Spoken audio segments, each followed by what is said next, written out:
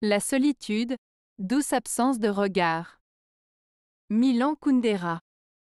Dans cette citation de Milan Kundera, La solitude, douce absence de regard, l'auteur exprime l'idée que la solitude peut être perçue comme quelque chose de doux et agréable lorsqu'elle est vécue comme une absence de regards indiscrets ou jugements extérieurs.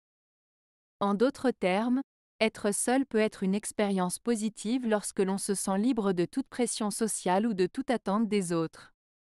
Cette citation met en avant la tranquillité et la liberté que peut offrir la solitude, loin du regard des autres.